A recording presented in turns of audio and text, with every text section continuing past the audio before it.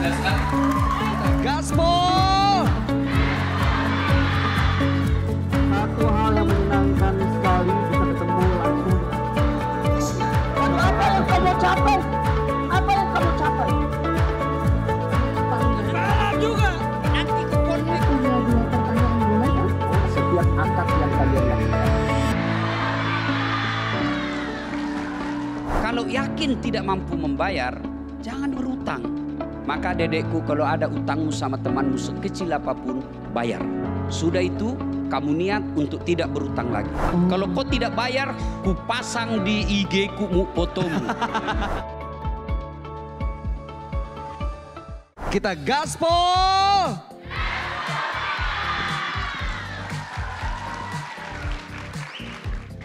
Hari ini saya berada di Universitas Fajar Makassar. Mana suaranya?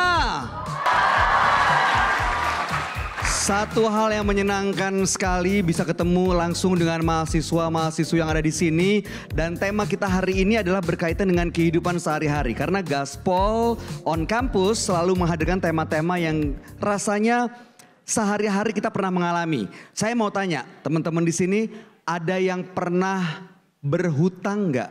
Boleh angkat tangan. Nggak ngaku berarti ya. Oke, satu, dua, tiga. Oke, saya balik pertanyaannya. Siapa yang pernah memberikan hutang? Boleh angkat tangannya. Oke, siapa yang pernah memberikan hutang begitu nagih susahnya minta ampun? Nah, siapa yang pernah berhutang begitu ditagih pura-pura ngilang? Aduh. Ya, hari ini kita akan membahas mengenai jurus akurat nagih hutang ke sahabat. Nah, makanya kita akan uh, kita akan gali lebih dalam lagi. Langsung saja kalau begitu kita akan dengarkan dan kita undang untuk bergabung bersama kita di depan guru kita, ustaz kita, motivator kita. Mohon berikan tepuk tangan untuk Ustaz Dasat Latif. Assalamualaikum warahmatullahi wabarakatuh. Waalaikumsalam warahmatullahi wabarakatuh Ustaz. Gimana kabar Mas Bayu? Alhamdulillah Pak Ustaz. Mas Bayu, Siap. eh, setiap hari semangat itu selalu dimulai pagi hari. Ya. Itulah semangat fajar. Oh. Indonesia punya pemimpin Mhm. yang besar revolusioner dialah Pak Put- Karno Putra. dan diberi gelar Putra Sang Fajar. Mantap. Jadi tentu Universitas Fajar ini diharapkan adik-adik yang ada di sini insya Allah terbit masa depan bangsa Indonesia. Jangan, jangan malah masih kuliah sudah banyak utangnya. ya, tapi kan zaman sekarang bisa aja Pak Ustaz untuk memenuhi kebutuhan dan segala macam. Sebenarnya orang berutang itu bukan karena eh, kebutuhan, Tapi, selera. oh. Ah, contoh. Sebenarnya dia bisa hidup tanpa pakai soft lens. Ya kan? So, iya betul. Sebenarnya dia bisa hidup tanpa pakai behel. Ya kan? Oke, benar. Sebenarnya dia bisa kuliah tanpa pakai HP yang empat kameranya. Tapi karena gaya hidup Ya. akhirnya ngutang. Oh. Masih bagus kalau ngutang. Kalau, Tapi kalau menghalalkan segala cara, maksudnya mencuri gitu Pak Ustaz? ya bisa jadi. Astagfirullah, mauzubillah min zalik. Curi, Nipu. nipu. Nah, it Nauzubillah auzubillah min zalik. Itu bukan karena butuh, tapi Ya. karena selera hidup. Hmm. Ngutang itu misal, karena kebutuhan. Iya. Kodong, mau maki ini bayar SPP. Gagal panen di kampung. Yang diharap empang, eh ternyata gagal panen. Mau cuti juga, tambah panjang waktu. Maka dia minjam. Ini boleh. Kenapa? Situasinya mendesak dan dibenarkan dalam agama. Cuma orang yang hobi berutang itu bahaya juga. Apa bahayanya orang yang banyak utangnya? Orang yang sering ngutang itu pembohong. Maksudnya gimana nih Pak Ustaz? Nah, dia sebenarnya sudah bisa bayar. Begitu ditagih, Tagi nah bilang, tunggu dulu kasihan. Ada juga keperluanku yang lain ini. ah, enggak ada pi, belum ada saya punya duit. Eh, sudah jadi pembohong. oh. Ya, bahkan kadangkala parahnya anak dan keluarganya disuruh juga bohong. Ibu bapak dosen ngutang. Tiba-tiba datang orang mau nagih. Nah lihat, baru parkir mobilnya nah lihat. Uh, uh, uh, uh. Uh, panagi. Dia kasih tahu anaknya, nak, nak, nak, nak, kalau nak cari mama bilang kunda ada nah. Ah, sudah jadi pembohong. Umumnya orang yang banyak utangnya pendek langkahnya. Jadi nggak bisa ke sana sini ya Pak Ustaz? Begitu dia mau ke warkop, mau, mau ke lapangan bulu tangkis, mau ke kampus, dia lihat, uh, ada, hai, natagi kak lagi nanti. Akhirnya apa? Tadinya sudah mau masuk parkiran, mutar. Pendek langkahnya. Betul. Bisa memutuskan silaturahmi. Karena dia capek sama kita lagi. Jengkel sudah kita. Akhirnya lambat laun kita sumpai. Astagfirullah. Nah, kan begitu. Ini banyak orang kalau kita bantu, waktu kita utangi, apa dia bilang? Ustadz, kau betul-betul malaikat penyelamatku. Sekalinya ditagi, dia bilang, Ustadz, kau malaikat pencabut nyawa. Ya kan?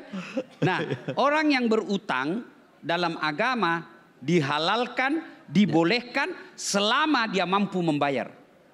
Oh, kalau Utang itu boleh, tapi asal mampu membayar. Kalau yakin tidak mampu membayar, jangan berutang. Oke, tapi Jadi kan kalau hukum hukum dasar dari utang itu adalah mubah. Misal penghasilan kita cuma 2 juta satu bulan. ya. Pergi ngutang 500 juta. Ini sampai dia pensiun, tidak bisa dikembalikan 500 juta dengan gajinya. Nah, kenapa dia ngutang 500 juta ini? Karena selera hidup. Apalagi yang disebut gali lubang tutup lubang. Akhirnya masuk lubang sendiri. Nah, bagaimana menghadapi tips agar kita tidak banyak utang? Pertama, turunkan selera. Yang pertama turunkan selera. Artinya kalau tadi tadi waktu masih baik kehidupan kita, masih kerja bagus. Ah, maka okelah bisa beli jilbab tiga kali dalam setahun. Satu kali beli dua biji. Nah, setelah ternyata kita PHK, tidak ada lagi kerja, turunkan selera. Sudah tahun ini, tidak usah lagi beli jilbab. Itu namanya mensiasati supaya tidak berutang. Kemudian kalau yang kedua, kalau ada yang bisa dijual, juallah. Misalnya di di rumah. Kita punya motor dua, tapi ada utang. Eh sudah jual satu, bayar utang. Dan orang yang punya utang dan wafat, itu diikat terus selama-lamanya dikubur. Diikat Ki. cuma kita tidak lihat karena ini sudah bicara alam gaib. Kapan dia lepas? Nanti kalau dibayar utangnya. Jadi kalau tidak ada yang bayar utangmu, terikat terus Pak Ustaz. terikatlah dia. Maka adik-adik sekalian, jangan berutang. Oke. Kalau kamu satu kos berutang, pasti itu satu kosmu akan pisah. Maka ketika kamu kuliah di sini, jangan gaya. Lebih baik kau fokus belajar. Kalau kau ikuti gayamu, kau salah tempat. Belajar. Kamu cewek, kalau sanging itu kau urus rambutmu, bleaching, ene, de, maka yang ada di otaknya itu laki-laki temani kau nafsu. Ya. Hei, yang ada di otaknya yang temani kau duduk itu bagaimana caranya nak bawa kau di kosnya. Woi, kenapa betul? Ya. Istighfar. Lalu apa yang kau mau capai? Apa yang kau mau capai kalau sudah begitu? Hah?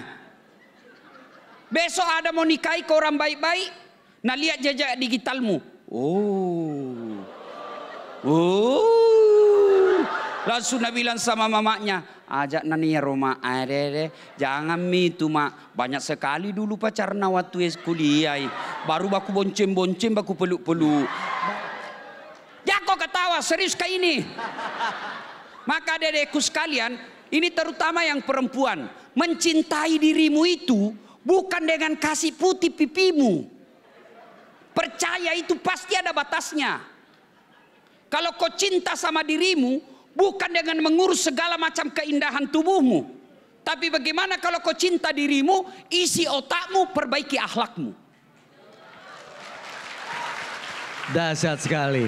Kalau kau tidak perhatikan itu, maka yang ada di benaknya orang yang jadi pacarmu, Itu saja dia dia pikir bagaimana saya bisa rusak ini anak. Astagfirullahaladzim, auzubillah min zalik. Eh, bayangkan kalau kau berdua mi. Masuk itu otak kotornya itu cowok. Nah bilang, ih tahu ah, halusnya tangan tadi. Dia bilang, iya dong anak mami. Lama, lama, lama, lama, lama, lama. Nah bilang, ih dingin dingin ngurni. Ah. Mulai. Auzubillah min zalik. Yang kau mau mabuk cinta.